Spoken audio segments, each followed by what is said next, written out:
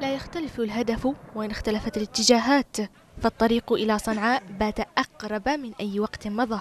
الجيش الوطني والمقاومة يقتربان أكثر فأكثر منها ويسيطران على جبل القتب المطل على وادي محلي غرب نقيل الفرضة وعلى موقع الحول أعلى قمة في جبال نهم لتأمينها.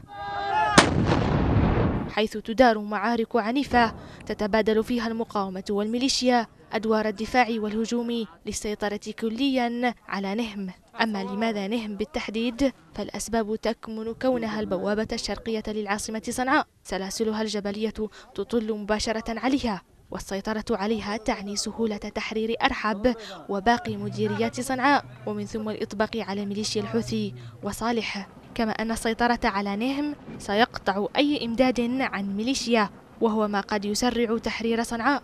عندها ستعود المعارك إلى نقطة البداية لتعود الدولة. ولن تضطر المقاومة لخوض مزيدا من المعارك الجانبية التي تطيل أمد الحرب وتسبب دمار المدن.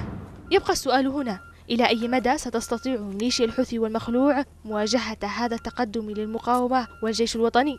وهل ستنجح الشرعية للعودة من تحت ركام الحرب وبناء الدولة اليمنية من جديد؟